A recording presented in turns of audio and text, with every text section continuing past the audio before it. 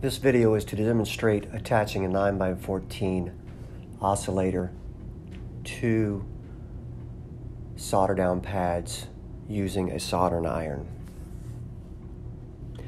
First, we will apply flux to all pads being soldered, in this case four.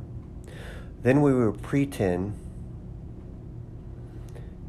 one pad this is to allow a positioning point for the oscillator so that it does not move while soldering the other remaining three pads.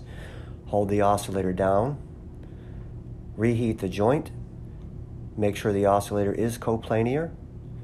Now the oscillator will stay in place. Spin around 180 degrees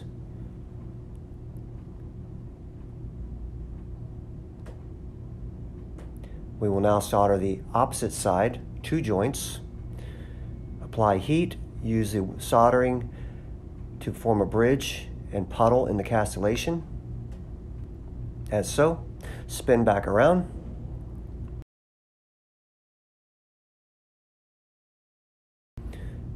Perform one final castellation solder.